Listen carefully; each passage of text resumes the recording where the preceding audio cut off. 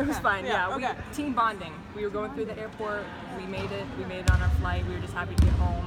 Uh, but it was it was a really good road trip. It went a lot faster. I think it was because we, we played the game, we traveled, played a game, traveled, and so it was really quick. Uh, but I think we handled it, handled it well, and we were able to to continue to build onto our foundation.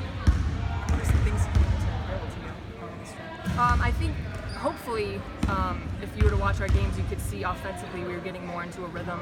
Um, in the first couple games of the season, we were getting out rebounded. I think we were still getting out rebounded um, throughout the games on the road, but it was getting better. You could see that it was starting to click on both ends of the floor.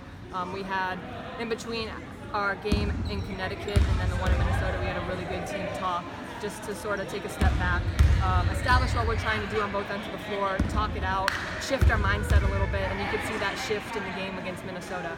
And so we're just we're, we're continuing to improve. We're continuing to get to know each other out there, and it takes time. It takes those experiences, and so hopefully we can continue to learn each other without having to lose. What's your confidence like now as a starter over the past few games? Um, I mean, I, I try to approach every day, whether it's game day or practice days, the same. Um, you know, try to compete and be consistent.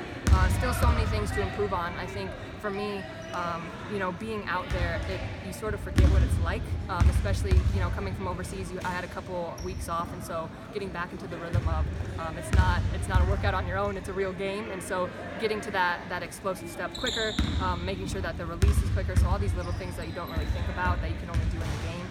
Uh, but I feel good out there. I'm thankful for the opportunity, and um, you know, it's it's sort of easy for me because I'm surrounded by really really good players, and so I just got to knock down open shots, and so. Um, and then make sure my person stays in front of me when I'm on defense. Um, and so I'm I'm learning, and so it's nice to be able to learn out there, and I'm grateful to be out there. And just to continue that, how do you feel about your role on the team going forward as you know people come back from injuries and things like that? Yeah, I mean, just continue to work, continue to learn.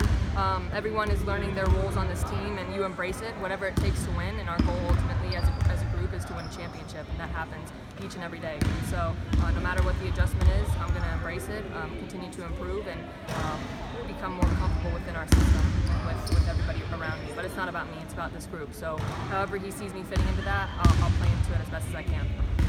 Is to have a Chelsea to My I, last after, the game. after after the game, um, my mom texted me and she's like, "Chelsea equals clutch," and I was like, "Yep." And then a couple of my friends said, "Man, Chelsea's like Kobe."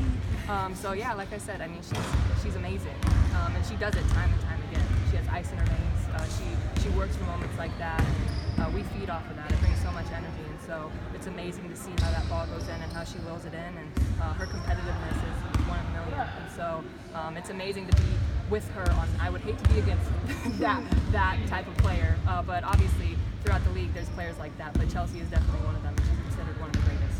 Time for one more.